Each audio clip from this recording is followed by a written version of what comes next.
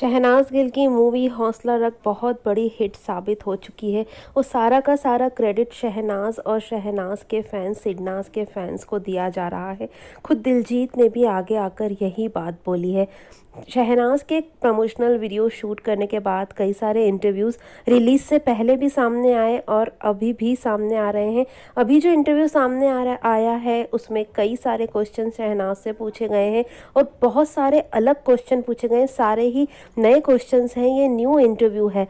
तो जिसकी मैं आगे भी वीडियोस आपके लिए लाती रहूँगी और सारे ही क्वेश्चंस जो शहनाज से किए गए हैं, उसकी वीडियो मैं आपके साथ शेयर करती रहूँगी तो आप बिल्कुल भी मिस मत करना। जिसके लिए आप मेरे चैनल को सब्सक्राइब करके बेल आइकन ज़रूर प्रेस कर देना। यहाँ भी आपको शहनाज गिल के आँखों की नमी, उनके चेहरे का सूनापन, दिल का खालीपन साफ़ नज़र आएगा। बहुत सारे क्वेश्चन शहनाज से पूछे गए और उन्होंने हर सवाल का जवाब बहुत ही ज़्यादा मेच्योरिटी के साथ दिया। एक ऐसा इंसान जो हमेशा ही उसे समझाता रहता था, उस एक इंसान के जाने से शहनाज गिल अपने आप ही समझदार बन गई, मैच्योर बन गई। यहाँ पर क्वेश्चन किया जाता है, तीनों से ही दिलजीत से और सोनम से, शहनाज से, सभी से पूछा जाता है कि आपको एक दूसरे की कौन सी ऐसी बातें हैं जो पसंद नहीं हैं, जिन्हें आप पसंद नहीं करते? तो सच बोलने से हमेशा ही लोग कतराते हैं, भागते हैं, हमेशा अपने चेहरे पर झूठ का नकाब ओढ़ कर रखते हैं। लेकिन शहनाज ऐसी नहीं है। शहनाज विदाउट फ़िल्टर है, कोई फ़िल्टर नहीं है उस पर। उसके दिल में जो होता है, वो कहती है, उसको जो सही लगता है, वो कहती है, जिसके लिए जो वो फील करती है, उसके ज़बा पर वो होता है। ये है हमारी शहनाज गिल और उसकी ये क्वालिटीज़ ही उसे हमारी क्वीन बनाती है, हमारे दिलों पर वो राज करती है। तो यहाँ भी शहनाज के जवाब में वही सब बातें देखने को मिली।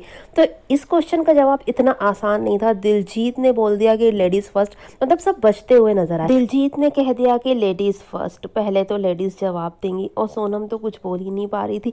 इतने में शहनाज ने कहा कि मैं शुरू करती हूँ, मैं बोलती हूँ। इस सवाल का जवाब मैं देती हूँ।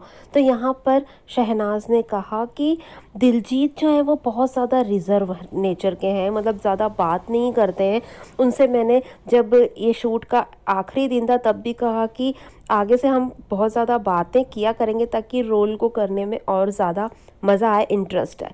और अब सोनम की बारी थी तो उन्होंने सोनम के बारे में कहा कि ये भी बहुत रिज़र्व नेचर की हैं, कम बोलती हैं। और सोनम में बहुत सारे फिल्टर्स लगे हैं, क्योंकि वो कोई भी बात एकदम नहीं बोलती, बहुत सोच कर बोलती है, सबको देख कर बोलती है कि कोई क्या सोचेगा। तो इस तरह से बहुत ज़्यादा फ़िल्टर्स लगे हैं सोनम ने, ये कहना था शहनाज का।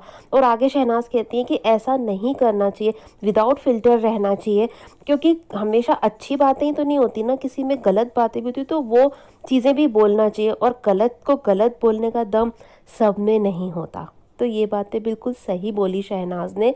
और आगे शहनाज ने कहा, इसी बात को आगे बढ़ाते हो कि मैं बिग बॉस की क्वीन रही हूँ, क्योंकि वहाँ पर वो बोलना होता है जो आपको लगता है।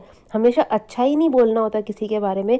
अगर कोई चीज़ पसंद नहीं आती तो वो चीज़ें भी बोलना पड़ती हैं। तो मैं बिग बॉस की हीरोइन रही हूँ, मुझे इसीलिए लोगों ने पसंद किया है और मैं बिग बॉस की हीरोइन हूँ। तो सोनम एकदम से जवाब देती हैं कि बिग बॉस के हीरो। तो यहाँ पर शहनाज कहती हैं, बिग बॉस के हीरो तो कोई और है। एग्जैक्ट अगर उन पंजाबी में बोलूँ तो बिग बॉस के हीरो तो कोई और सी, इस तरह से शहनाज ने बोला था। और जब शहनाज ने ये बात बोली तो उसके चेहरे के एक्सप्रेशन ही अलग हो गए, क्योंकि हम सब जानते हैं कि बिग बॉस का हीरो शहनाज किसे कह रही थी, वो सिद्धार्थ के बारे में कह रही थी। तो सिद्धार्थ और शहनाज ही हैं हमारे बिग बॉस के किंग और क्वीन हीरो और हीरोइन। शहनाज जो नॉर्मल होकर बात करने की कोशिश कर रही थी, लेकिन सिद्धार्थ के बारे में बात आते ही उनका नाम आते ही शहनाज के एक्सप्रेशंस बिल्कुल चेंज हो गए और वो एक दुख के सागर में जैसे डूब सी गई। और शहनाज की इन बातों को सुनकर फैंस भी बहुत ज़्यादा इमोशनल हो रहे हैं, क्योंकि ये वाली वीडियो बहुत ज़्यादा सोशल मीडिया पर वायरल हो रही है। यार, ये बातें सुनकर सोच कर शहनाज के बारे में सोच कर ना दिल बैठ सा जाता है। मतलब फैंस जब इतनी उदासी महसूस करते हैं तो शहनाज का दिल क्या सोचता होगा, क्या महसूस करता होगा, कितने मुश्किल घड़ी में होगा, ये तो हम सोच ही सकते हैं। बस हम तो यही कहेंगे कि शहनाज गिल को ऊपर वाला और भी ज़्यादा हिम्मत दे, बाकी हम सब फैंस का प्यार और सपोर्ट तो हमेशा ही शहनाज के लिए है। सिद्धार्थ और शहनाज, बिग बॉस के किंग और क्वीन हमेशा ही रहेंगे और हम सब फैंस भी, सिडनाज के फैंस हमेशा रहेंगे। हमारे लिए, हमारे किंग और क्वीन हमेशा ही शहनाज और सिद्धार्थ ही हैं। तो आपको ये सब जानकर कैसा लगा गाइस कमेंट करके मुझे ज़रूर बताइएगा। वीडियो को लाइक चैनल को सब्सक्राइब ज़रूर कर दीजिएगा। Thanks for watching guys